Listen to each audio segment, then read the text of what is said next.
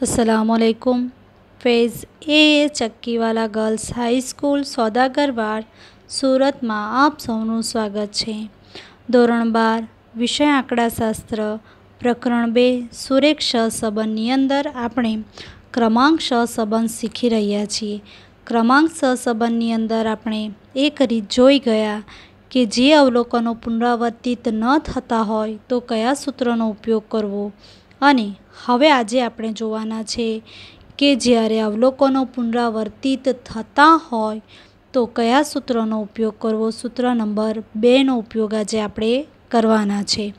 તો તમારી ટેક્સ્ટબુકની અંદર સોમાં પેજ પર પાંચમો દાખલો છે. સ્વાધ્યાય બે પોઈન્ટ ત્રણનો પાંચમો દાખલો જે આપણે જોઈએ.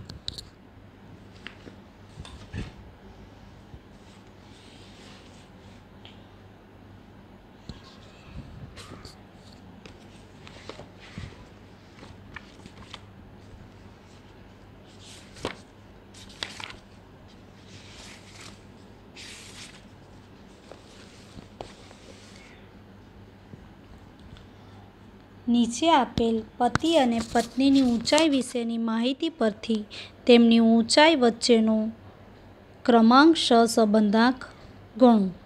હવે આપણને અહીં પતિની ઊંચાઈ અને પત્નીની ઊંચાઈ આપી છે.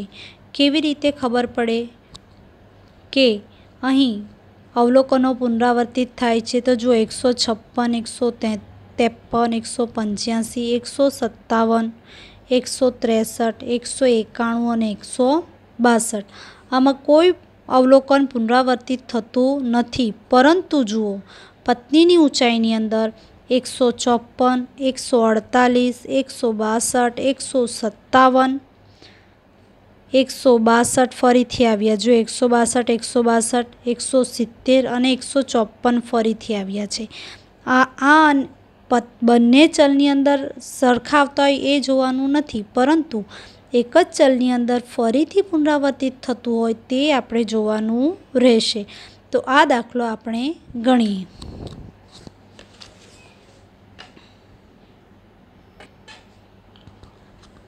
જો વિદ્યાર્થી મિત્રો, અહીં આપણે પતિની ઊંચાઈને એક્સ અને પત્નીની ઊંચાઈને વાય તરીકે લઈએ. તો એક્સ આપણે લઈ લીધા છે એકસો છપ્પન, એકસો ત્રેપન, એકસો પંચ્યાસી, એકસો સત્તાવન, એકસો ત્રેસઠ, એકસો એકાણું અને એકસો બાસઠ. એ જ રીતે વાય આપણે લીધા છે એકસો ચોપન, એકસો અડતાલીસ, એકસો બાસઠ, એકસો સત્તાવન, એકસો બાસઠ, એકસો સિત્તેર અને એકસો સત્તાવન. કરવાનું હવે આપણે એ જ રીતે છે. અહીં સિગ્મા એક્સ અને સિગ્મા વાય શોધવાના નથી. પરંતુ આપણે આર એક્સ એટલે કે એક્સનો ક્રમ અને આર વાય એટલે વાયનો ક્રમ. ક્રમ તો આપણે આપવાના જ છે. તો આપણે ક્રમ આપતા જઈએ. વન બાય વન એક્સનો જે ક્રમ હોય એ પ્રમાણે ઉતરતા ક્રમમાંથી શરૂ કરીએ.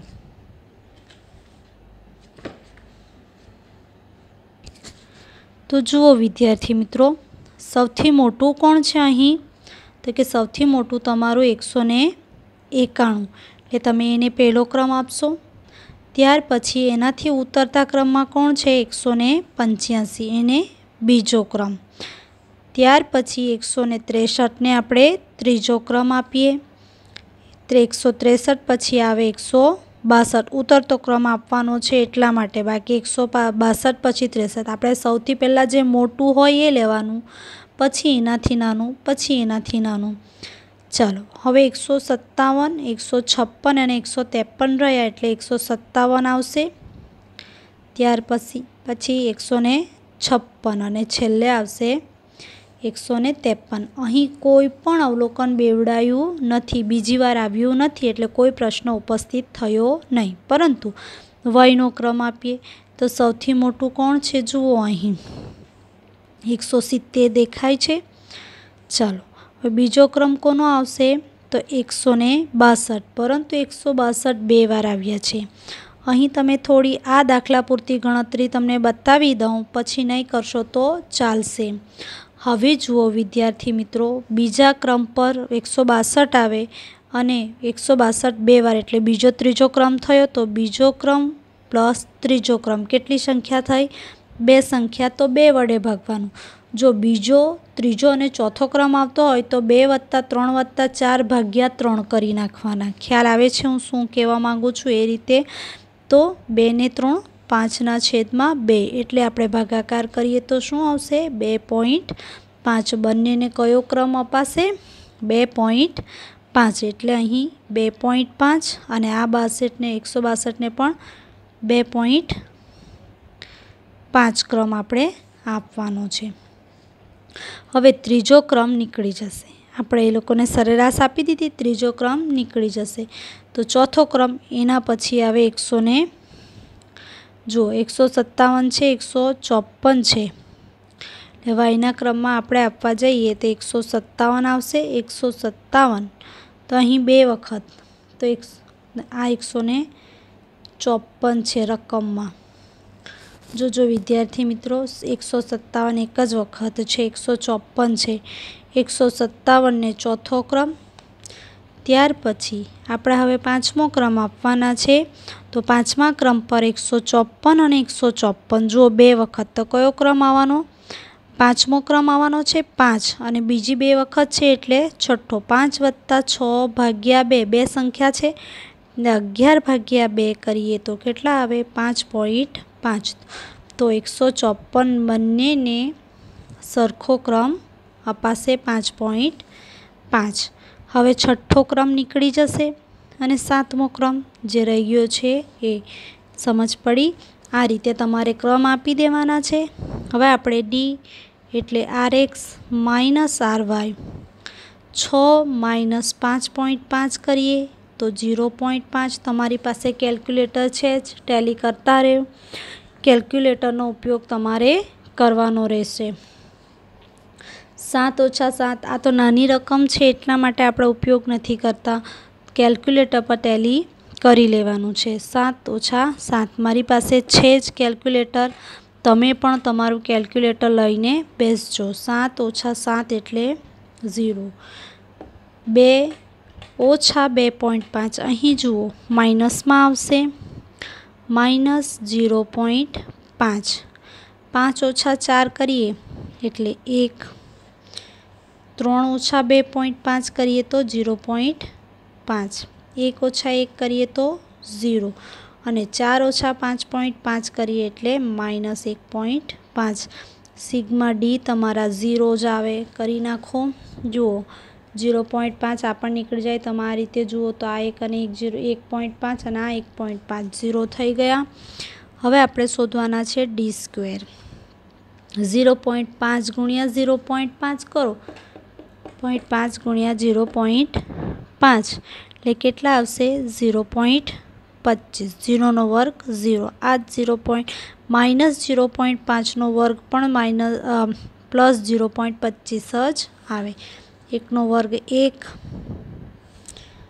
ઝીરો પોઈન્ટ પાંચનો વર્ગ ઝીરો પોઈન્ટ પચીસ, ઝીરો માઇનસ એક પોઈન્ટ પાંચ. કરો, માઇનસ એક પોઈન્ટ પાંચ ગુણ્યા માઇનસ એક પોઈન્ટ પાંચ એટલે નિશાની નીકળી જાય બે પોઈન્ટ પચીસ. સિગ્મા ડી સ્ક્વેર તમે સરવાળો કરો, ઝીરો પોઈન્ટ પચીસ પ્લસ ઝીરો પોઈન્ટ પચીસ પ્લસ એક પ્લસ ઝીરો પોઈન્ટ પચીસ પ્લસ બે પોઈન્ટ પચીસ. એટલે તમારો આન્સર આવે ચાર. સિગ્મા ડી સ્ક્વેર કેટલા આવી ગયા? ચાર. હવે વિદ્યાર્થી મિત્રો, તમારે પહેલાં સૂત્રનો ઉપયોગ કરવાનો નથી, કારણ કે અહીં તમારે બે સંખ્યા જે એવી છે, જે બેવડાય છે, ડબલ વખત આવી છે, એટલે આપણે સીએફ શોધવાની રહેશે. તો સીએફ કેવી રીતે ગણવાની છે, તે જોઈ લઈએ. તો સીએફ માટે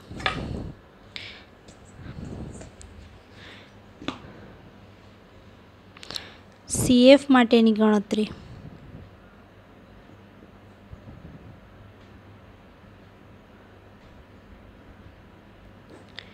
તો તમારી પાસે પુનરાવર્તિત ચલ જે હોય તે લેવાનું, પુનરાવર્તિત ચલ. ખ્યાલ આવે? બીજી કોલમ તમારી ચલ જેટલી વખત પુનરાવર્તન પામે તે સંખ્યા, એટલે આપણે તેને શું કહીશું? એમ. આ પહેલો દાખલો છે એટલે આપણે લખીએ છીએ, પછી નહીં લખીશું ડાયરેક્ટ એમ લખીશું. ચલ જેટલી વખત પુનરાવર્તન પામે, તે સંખ્યા તેને શું કહી શકાય એમ જો ધ્યાનમાં રાખજો. ચલ જેટલી વખત પુનરાવર્તન પામે, તે સંખ્યાને શું કહી શકાય એમ કહી શકાય. અને પછી આ સૂત્ર છે સીએફનું એમનો ઘન ઓછા એમ છેદમાં બાર. આ સૂત્ર આપણે ફોલો કરવાનું છે. હવે તમારી પાસે પુનરાવર્તિત ચલ કયો કયો છે? તે એક તો એકસો બાસઠ આવ્યા. અને પછી શું આવ્યા? એકસો ચોપન અને આપણે બ્લોકમાં લઈ લઈએ. ચાલો, વિદ્યાર્થી મિત્રો બ્લોક બની ગયું છે. હવે જુઓ, એકસો બાસઠ કેટલી વખત પુનરાવર્તન પામે છે? તો કે બે વખત. અને એકસો ચોપન કેટલી વખત પુનરાવર્તન પામે છે? બે વખત. હવે આપણે એને સૂત્રમાં એપ્લાય કરી દઈએ. આ આપણું સૂત્ર છે. હવે એમ કોણ બની ગયા? બે. એટલે અહીં સૂત્ર શું બને? બેનો ઘન ઓછા બે છેદમાં બાર. જો જાની ગણતરી કરવાની છે બેનો ઘન કરીએ. બે ગુણ્યા બે ગુણ્યા બે એટલે આઠ. આઠ ઓછા બે છેદમાં બાર. એટલે તમે આઠ ઓછા બે કરો તો કેટલા આવે? છ. છ ભાગ્યા બાર કરો એટલે તમારા આવશે ઝીરો પોઈન્ટ પાંચ. જો, આ રીતે તમારે ગણતરી કરવાની છે. સેમ આ જ પ્રોસેસ થશે આની પણ. બેનો ઘન ઓછા બે ભાગ્યા બાર બરાબર આઠ ઓછા બે બાર છેદમાં છ છેદમાં બાર બરાબર ઝીરો પોઈન્ટ પાંચ. તમારી સીએફ શું થશે? તો કે સીએફનું સૂત્ર શું થાય? સિગ્મા એમનો ઘન ઓછા એમ છેદમાં બાર. આ તમારી સીએફ તો એનો સરવાળો કરો. કેટલો થાય? ઝીરો પોઈન્ટ પાંચ વત્તા ઝીરો પોઈન્ટ પાંચ એટલે એક. આ તમારી શું આવી? સીએફ બરાબર છે? માટે તમારી પાસે સિગ્મા ડી સ્ક્વેર કેટલા? ચાર. અને સીએફ એક. અને એન કેટલા? સાત. આ ત્રણનો તમારે ઉપયોગ કરવાનો છે. આપણે સૂત્ર મૂકીએ. જો. ક્રમાંક સહસંબંધાંક. ક્રમાંક સહસંબંધાંક આર શોધવાનો છે. તો આર બરાબર વન માઇનસ સિક્સ. જોજો, સિગ્મા ડી સ્ક્વેર તો છે, પણ એ કાઉન્સમાં એની સાથે શું લેવાનું છે? સીએફ છેદમાં N N square minus one.